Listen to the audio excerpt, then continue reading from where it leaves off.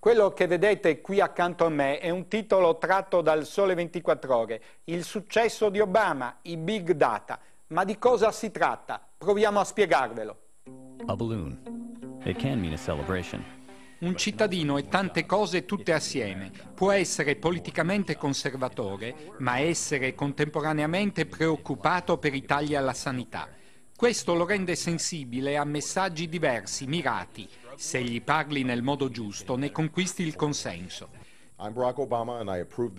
Se poi il sistema politico è come quello americano, dove contano gli stati in bilico, le contee in bilico, allora chi raggiunge l'elettore incerto può vincere e conquistare la Casa Bianca.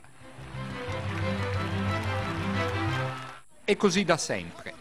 La differenza è che oggi con internet, con i social network, ci sono in rete le informazioni che quel cittadino dà di se stesso, magari rispondendo ad un questionario. Chi le padroneggia queste informazioni sa come parlargli. Il problema è gestire un'enorme quantità di dati, quelli che in America chiamano big data.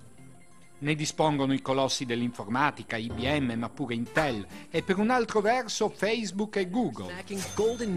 Ma Big Data cambia pure il senso della comunicazione.